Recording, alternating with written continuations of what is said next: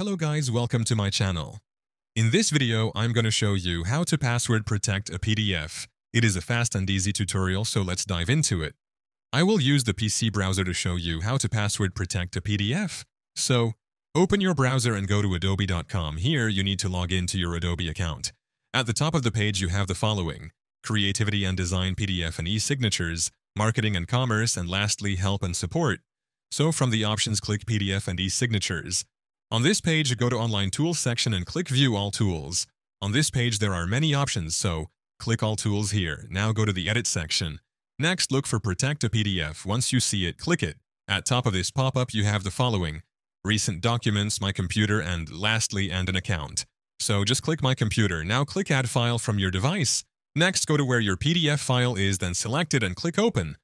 The PDF will be uploaded to Adobe. Now create a password. Next, confirm the password you just created and then click Set Password. Your PDF will now be password protected. You can just download it from this page. And that is how to password protect a PDF. Thank you for watching. If this video was helpful, please leave a like and subscribe to my channel for more videos like this, and click on that notification bell to never miss an update.